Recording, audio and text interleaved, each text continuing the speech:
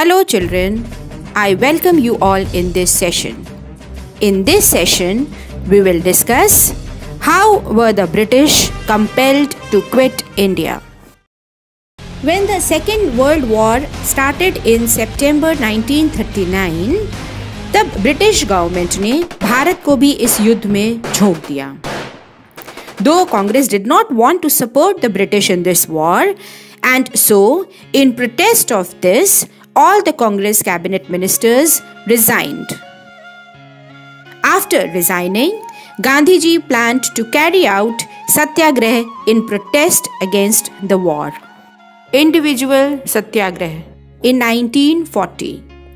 As I just mentioned that this was carried in protest against the Second World War.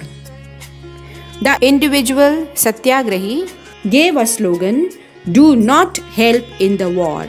Now, the aim of the Congress leaders was पूर्ण स्वराज अब उनका लक्ष्य पूर्ण आजादी था अब उनको हर कीमत पर पूर्ण स्वराज चाहिए था quit India movement in 1942 Bharat छोड़ो आंदोलन Congress passed a resolution on 8 August 1942 and asked the British to quit India.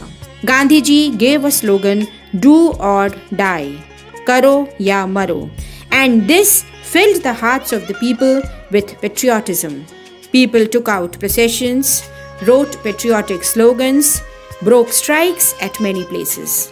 Revolt and revolution spread in almost all the parts of India. Many national enthusiastic leaders like Jay Prakash Narayan, Aruna Asaf Ali work secretly and fearlessly उनका aim था British साम्राज्य को नुकसान पहुंचाना British साम्राज्य को ध्वस्त करना।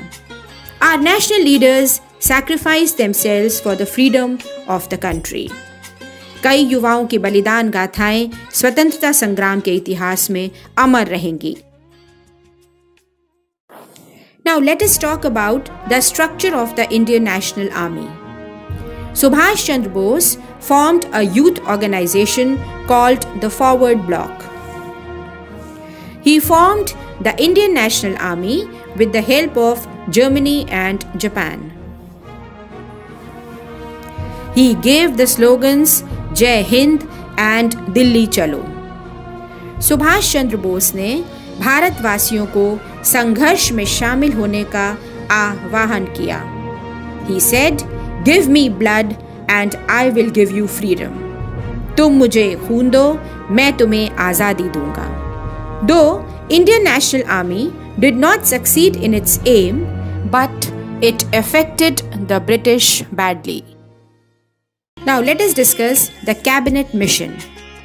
The government was changed in Britain in July 1945. Prime Minister of England, Clement Attlee, formed a committee which was called the Cabinet Mission. The main decision taken by the Cabinet Mission was a constituent assembly should be formed to make a new constitution for India. The British Parliament passed a law known as the Indian Independence Act of 1947. And through this act, India finally became free on 15th August 1947. बच्चों, ये आज़ादी की डगर आसान नहीं थी। इस आज़ादी के लिए न जाने कितने वीरों ने अपने प्राणों की आहुति दी, न जाने कितने जवान शहीद हुए। कितनों ने हँसते हँसते अपने आप को इस आज़ादी की लड़ाई में झोंक दिया। हमारे राष्ट्रभक्त वीरों का बलिदान व्यर्थ नहीं गया और आखिरकार हमारा देश आज़ाद हुआ। पर दुर्भाग्य की बात यह रही कि हमारा हिंदुस्तान दो भागों में बट गया। According to this act India and Pakistan were made two separate independent countries the partition of India the Muslim League began a protest for a separate nation Pakistan This led to the riots between Hindu and Muslims. But at last, the British partitioned India and made a separate country named Pakistan.